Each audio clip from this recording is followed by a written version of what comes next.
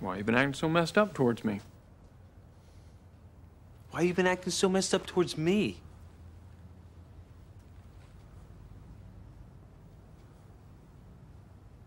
Well, you go first. I don't know, maybe I felt like a little threatened or something, because your career is kind of just blossoming and mine's kind of winding down or whatever.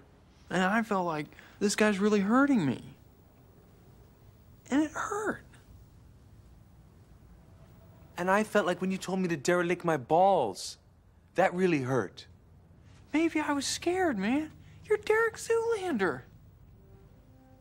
Yeah, you're Derek Zoolander. You know what it's like to be another model and be in Derek Zoolander's shadow? you want to hear something crazy? Your work in the Winter 95 International Male Catalog.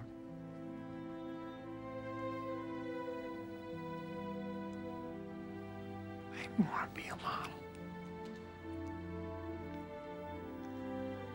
I freaking worship you, man.